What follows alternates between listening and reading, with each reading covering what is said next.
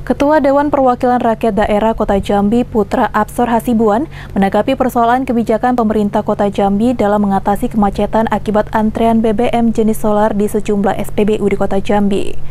Dalam kesempatan tersebut, Putra Absor juga menuturkan bahwa pihaknya sangat mendukung kebijakan pemerintah Kota Jambi yang membatasi pembelian solar 30 liter per truk.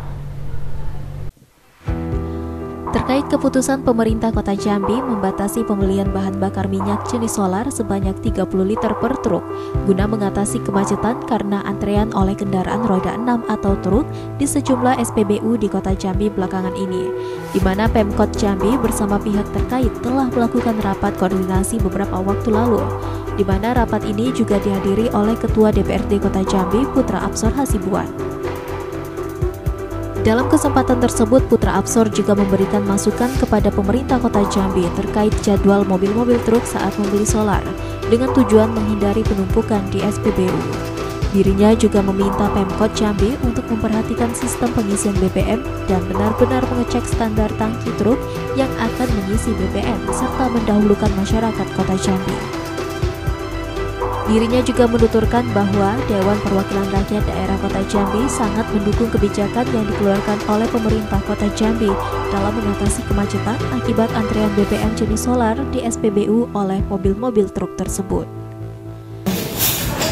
termasuk di situ kepolisian juga, dishub juga, kali telah dilakukan kesepakatan tentang pembatasan-pembatasan itu. Memang saya hadir sebentar karena dan saya di situ memberikan beberapa masukan. Salah satunya memang kita minta jadwal mobil batu bara itu. Jadi tidak bisa bertumpuk seperti itu. Jadi diminta jadwal. Itu saya rasa sudah dibuat sama pemerintah kota. Yang kedua, sistem pengisiannya. Jadi memang harus benar-benarnya pihak itu SPBU mengecek ya kan tangki-tangki batu bara itu bisa standar atau tidak. Nah, yang ketiga, yang paling utama tuh saya minta memang kemarin masukan saya didahulukan masyarakat Kota Jambi khususnya.